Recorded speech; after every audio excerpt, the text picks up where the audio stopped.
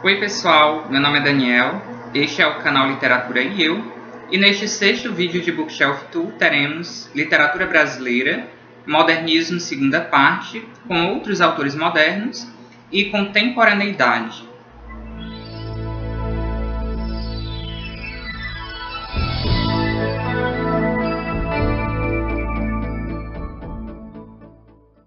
Temos aqui a sucessora da Carolina Nabuco.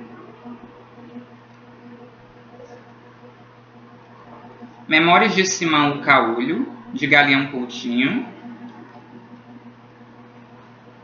E a sequência, Confidências de Dona Marculina.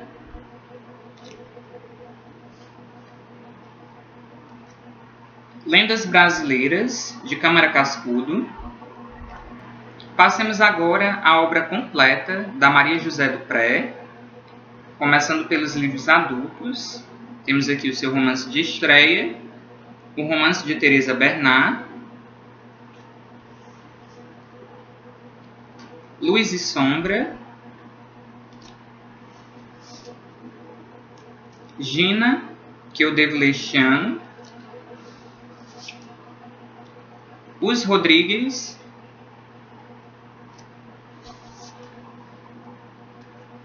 Dona Lola, que é uma continuação de Éramos 6. Eu tenho Éramos 6 na minha coleção Saraiva. Essa edição, infelizmente, eu só consegui sem a sobrecapa. A Casa do Ódio, que é uma coletânea de novelas. E acho que alguns contos também. Vila Soledade,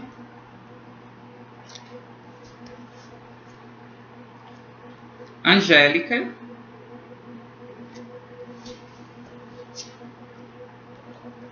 Menina Isabel,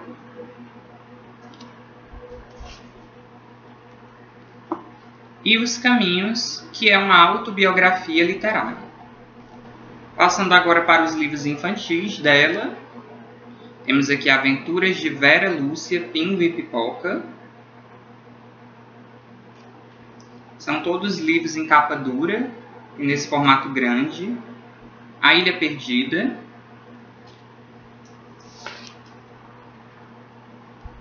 A Montanha Encantada.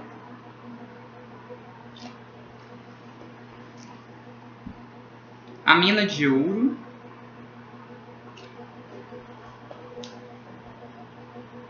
E aqui começa a série do Cachorrinho Samba, o cachorrinho samba, o cachorrinho samba na floresta, o cachorrinho samba na Bahia, o cachorrinho samba na Rússia, o cachorrinho samba entre os índios. E por último o Cachorrinho Samba na Fazenda Maristela, que ainda hoje é editado, mas com título simplificado para O Cachorrinho Samba na Fazenda. Um Médico na Tempestade, de Eduardo Adami. Esta edição também está sem a sobrecapa, mas ela curiosamente veio autografada. Esse cara era escritor e médico também. Por isso que ele compartilha muito das suas vivências médicas nos seus romances. Como é o caso desse aqui também, A Dor Tem Sete Cores, que também vai tratar da medicina. Esse aqui já veio com a sobrecapa.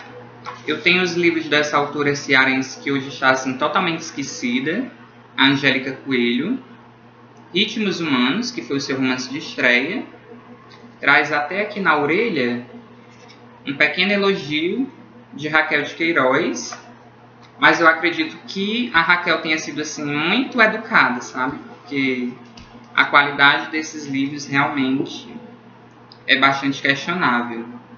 Decadência de uma geração, que foi assim o romance dela que me pareceu menos ruim. Esta edição também está autografada. Festival de Tormentos. Elas Não Têm Destino, que é uma coletânea de contos. Aldeota, de Jade de Carvalho, que é um livro que eu quero muito ler este ano. E do mesmo autor, essa coletânea de poemas, Delírio da Solidão.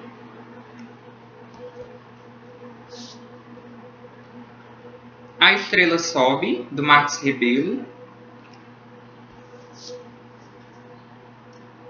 Cante Lá que eu canto cá, de Patativa do Assaré. E os Cordéis do Patativa.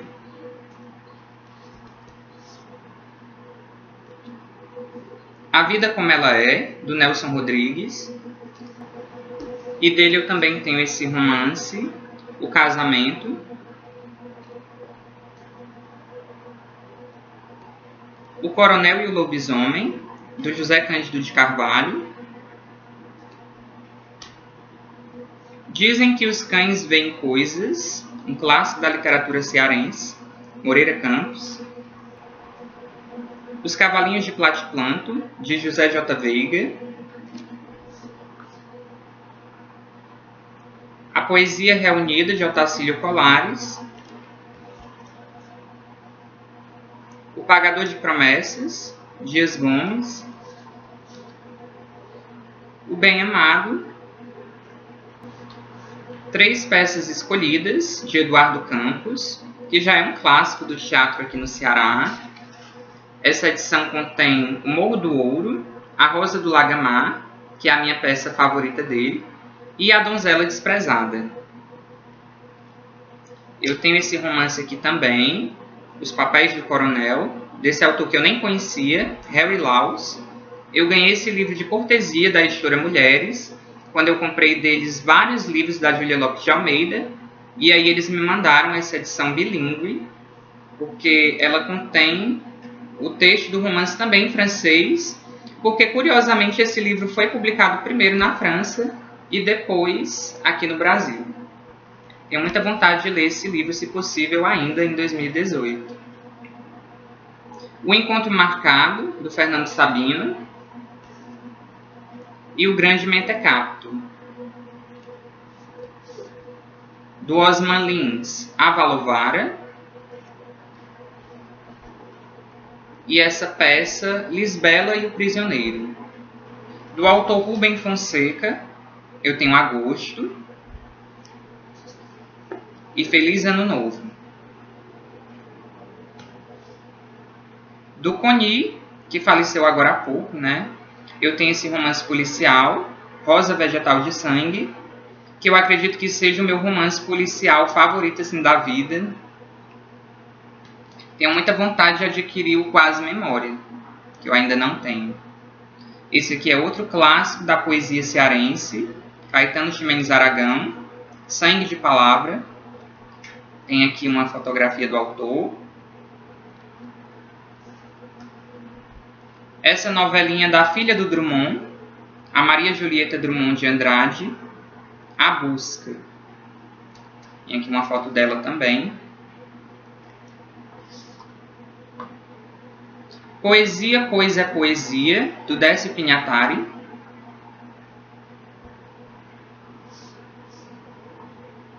O Rosto da Memória, também do Décio Pinhatari, só que isso aqui é uma coletânea de contos. Galáxias, do Haroldo de Campos. Poema Sujo, do Ferreira Goulart. Viva Vaia, do Augusto de Campos. Bagagem, da Adélia Prado. Lavoura Arcaica, do Raduan Assar. E dele eu também tenho um copo de cólera. Zero, do Inácio de Loyola Brandão. E dele eu também tenho Não Verás País Nenhum. Malagueta, Perus e Bacanaço, do João Antônio. A Guerra no Bom Fim, do Moacir Scliar. Viva o Povo Brasileiro, do João Baldo Ribeiro. A Senhorita Simpson, do Sérgio Santana. Vermelho Amargo, do Bartolomeu Campos de Queiroz. Catatal, do Paulo Leminski. Do João Gilberto Nó eu tenho Armada e A Céu Aberto. Morangos Mofados, de Caio Fernando Abreu. Raíssa, de Regis Castro. E desse mesmo autor, Croma, Caminhos de Vida. Relato de um Certo Oriente, do Milton Ratum. Dois Irmãos. E A Cidade Ilhada, também do mesmo autor. Boca do Inferno, da Ana Miranda. Dela eu também tenho Desmundo.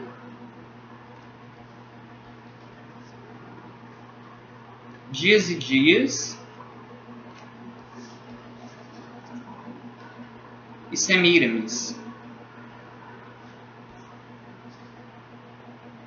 A Mulher de Passagem, do Carlos Daude, que não obstante ser um autor português, a gente reconhece como um autor cearense, não como um autor português. Carlos Dauge é aqui dos nossos. Tem esse livrinho Anjos Travados, do Zé Elias. É bem fininho. Do meu ex-professor Dimas Carvalho, Itinerário do Reino da Barra. História de Zoologia Humana, Fábulas Perversas, Pequenas Narrativas, Insônias, Delírios, Pesadelos. Todos os meus livros do Dimas, claro que estão devidamente autografados. Uma Sombra no Espelho, que é uma coletânea de poemas. Brincando com Poesia, que é um livro infantil. E o mais recente trabalho dele, 55 sonetos. Uma leitura íntima de Dora Doralina, do Ítalo Gurgel. Também está autografado. Alencar e a França, perfis, da Maria Cecília Queiroz de Moraes Pinto.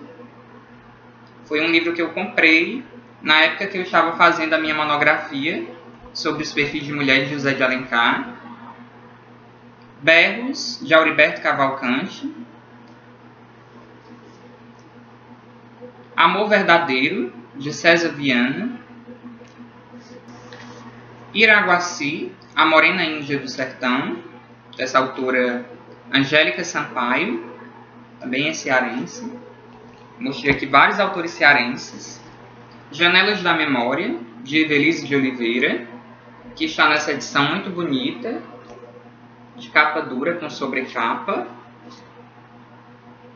E esse livro é todo em papel couché e é aquarelado pela filha da autora, a Marina de Oliveira. Trata-se de uma coletânea de crônicas. E essa Ivelise, ela é a dona daquela gravadora gospel muito famosa, a MK Music. Eu tenho inclusive um CD aqui da MK com canções inspiradas nas crônicas desse livro. No Alpendre com Raquel, do amigo José Luiz Lira, está autografado aqui também. E dele eu também tenho um livrinho de poesia que chama Algum Poema. Tem essa pequena biografia da Raquel de Queiroz, da Socorro Racioli. a mesma autora de A Cabeça do Santo, que está numa edição muito bonita também, que mesmo sendo brochura tem essa sobrecapa. Aí meus romances de banca, Aconteceu no Titanic, dessa autora brasileira, a Laura Elias, que ela usa vários pseudônimos nesses romances de banca. Dela eu também tenho esse aqui, Irresistível Impostura. O Inimigo do Rei, do Lira Neto, que é uma biografia do José de Alencar. A melhor biografia do Alencar que eu já vi. O Almanac da Telenovela Brasileira, do Nilson Xavier. Essa trilogia do Glenn Addison, que tem um canal aqui no YouTube também, o Página de Que. É a trilogia Sete Pesadelos, esse aqui é o primeiro, Sete Pesadelos no Riacho. Sete indícios de um pesadelo. E o terceiro, Sete Vidas para um Pesadelo.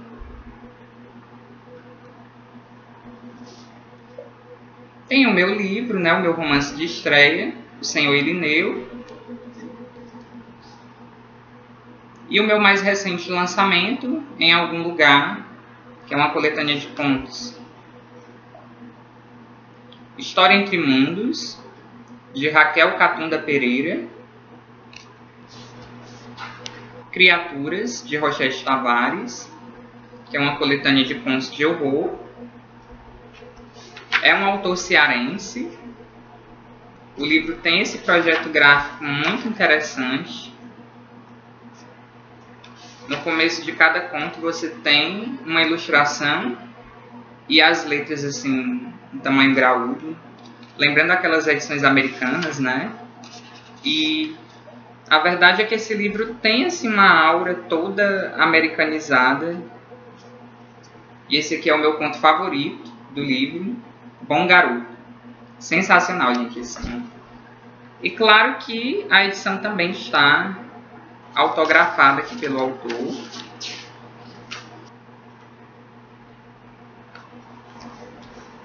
Memorial Bárbara de Alencar e outros poemas do poeta de Meia Tigela.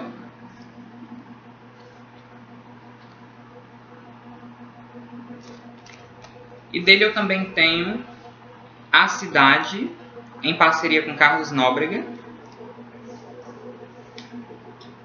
Quando Tenho Asas, da Rebeca Sales Viana.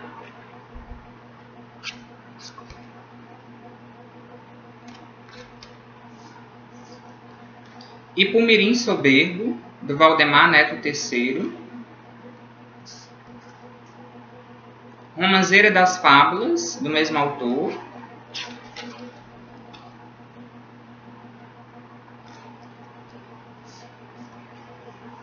Eu Tenho Medo de Gork e Outros Contos, da Angela Calou, que eu ganhei de presente do poeta de Meia Tigela. Breve História da Padaria Espiritual, do Sanzio de Azevedo.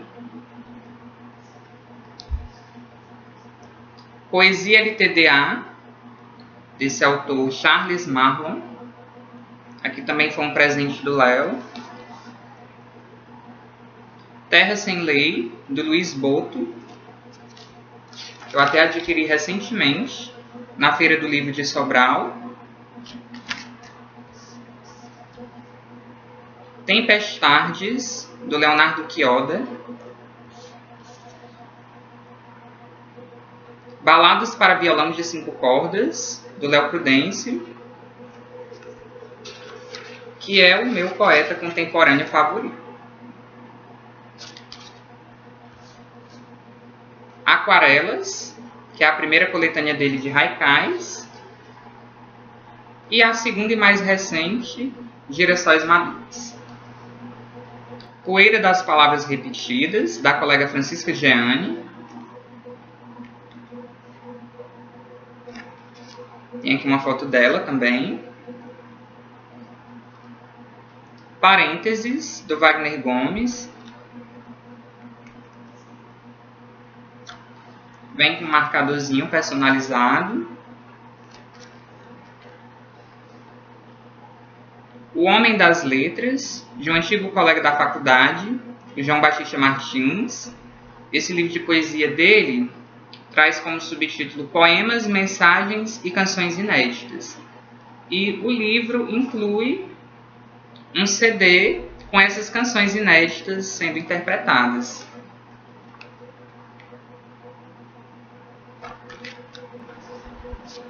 Relicário de uma Lua, da colega Luana Pereira de Brito. Aqui a Luana.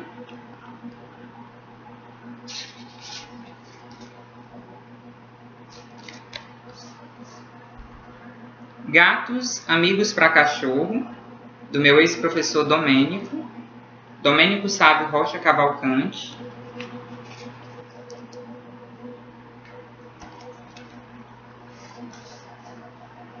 Ovelha, de Gustavo Magnani. Como Gota de Óleo na Superfície da Água, do Léo Maquilene.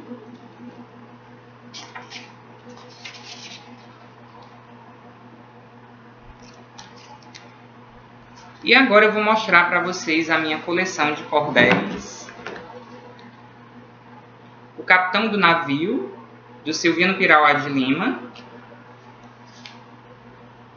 Peleja de Manuel Riachão com o Diabo, do Leandro Gomes de Barros. O Prisioneiro do Castelo da Rocha Negra, do João Martins de Ataíde. O Pavão Misterioso, do José Camilo de Melo Rezende,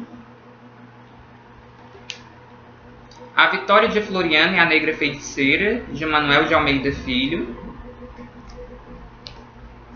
O Negrão do Paraná e o Seringueiro do Norte, de Francisco Salles de Areda,